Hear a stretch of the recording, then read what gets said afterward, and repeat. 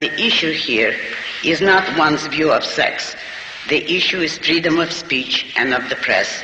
That is the right to hold any view and to express it. It is not very inspiring to fight for the freedom of the purveyors of pornography or their customers.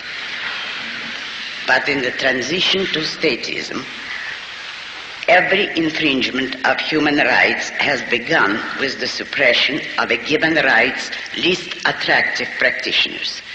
In this case, the disgusting nature of the offenders makes it a good test of one's loyalty to a principle.